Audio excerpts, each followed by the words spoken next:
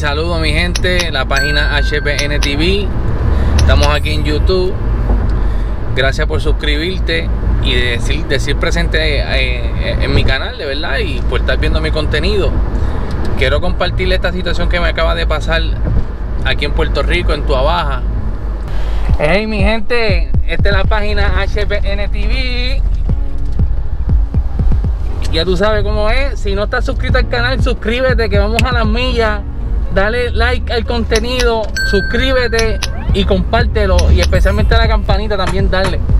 Mira, aquí estamos con mi amiga Sujei.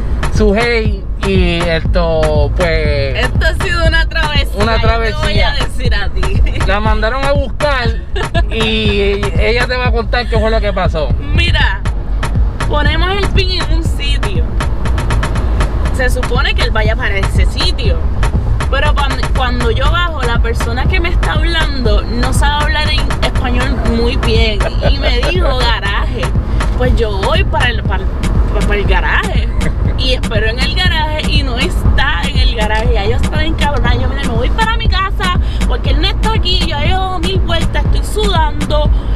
Y tuvimos que hacer un revolú hasta que al fin nos encontramos. Y ¿verdad? Porque entonces- nos pusimos en conferencia. Y entonces yo estoy así esperando en, el garaje, que es como si fuera un, un, un garaje de mecánica, de el mecánica. garaje es gas station. Gas station. Entonces el muchacho me llama y me dice, eh, eh, papá, papá, ¿dó- ¿dónde tú estás? Y yo, le, y yo le digo, mire, tiene el garaje al frente de una Jeep este, color verde. Y la chica ya estaba bajando para atrás. Y no tan solo le dije, mira, yo voy por el Puma, espérame en el Puma. Ya, y entonces lo último pues resolvimos. Me monto en el carro.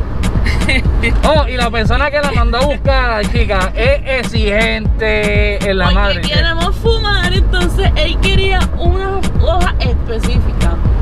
Y esas hojas yo nunca las he visto en mi vida. Yo no sé, yo, yo creo que son smoke shop. Entonces nos tuvimos que, yo por lo menos nos paramos en un primer, en el primer, ¿verdad? En el primer Puma. Sí, No, Entonces yo había, había, sabía que había un smoke shop cerca, pues me detuve ahí. Estaba cerrado, pero de casualidad, en el en la, en la En el gasolinera. gas station. En el gas station. No, no en el garaje, en el gas En el station. gas station. Sí, ah, había, había. Yo la vi Había. Entonces, a- al fin. No, porque el hombre estaba que, que no, si no me trae esto, pues, mira. Se pone triste, se pone triste. Yo no fumo si no es con esto. Entonces cuando estábamos saliendo, cuando ella está saliendo, la vio contenta. ¡Uh! Lo Sí, conseguí. salí contenta porque al fin, al fin, mira, Ey. ya tenemos de todo.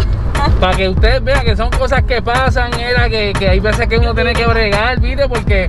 No, y- exacto, porque si llega a ser otro. Yo, mira, yo me monto en Uber a cada rato. Y hay Uber que no bregan, que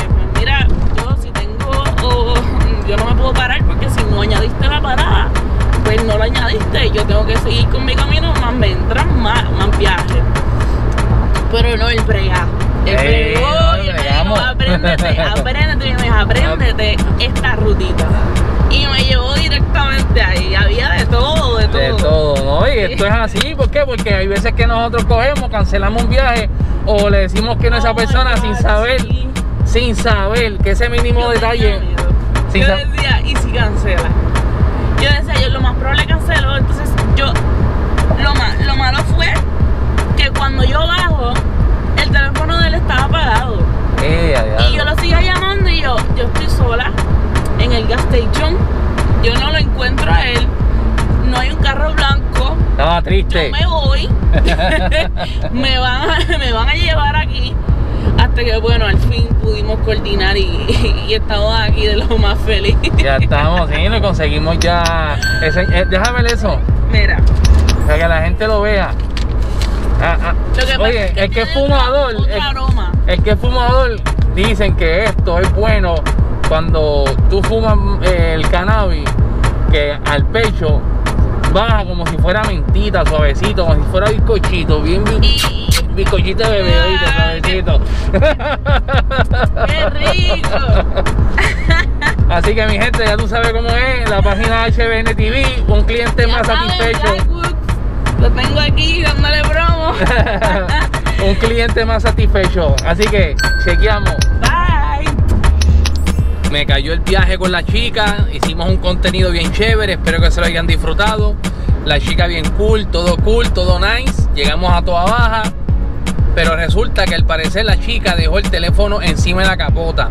Ojo, si eres chofer o cliente, eh, quiero que sepas que Uber no se responsabiliza si tú pierdes un artículo fuera del vehículo, al menos de que el chofer lo coja, lo bote y hagan, hagan pruebas. Pero si Uber no se va a responsabilizar si el cliente perdió un teléfono fuera del vehículo o perdió lo que sea fuera del vehículo. Mil disculpas con la chica.